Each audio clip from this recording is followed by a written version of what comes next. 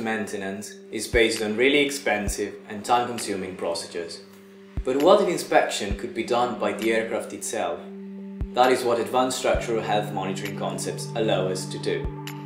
Imagine a network of tiny sensors spread all over the aircraft. Each one of them is capable of generating ultrasonic waves and steering them along arbitrary directions. If there is a damage, waves are reflected back, recorded by the sensor and processed by appropriate circuitry. Today's monitoring systems are either based on general purpose equipment or bulky circuit boards. This implies excessive size, weight and power but the adoption of a new transducer technology allowed us to design a small, lightweight and low-power sensor node. In designing the sensor, we wanted to minimize the additional weight to the structure. To achieve this goal, we decided to completely get rid of the cables.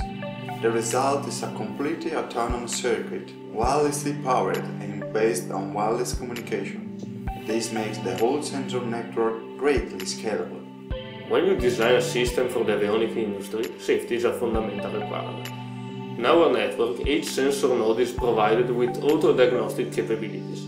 Whenever the acoustic coupling between the sensor and the structure becomes compromised, a system senses the change in the transducer's characteristics and reveals the damage. Reliable, accurate, autonomous and miniaturized. Maintenance can now be made faster and cheaper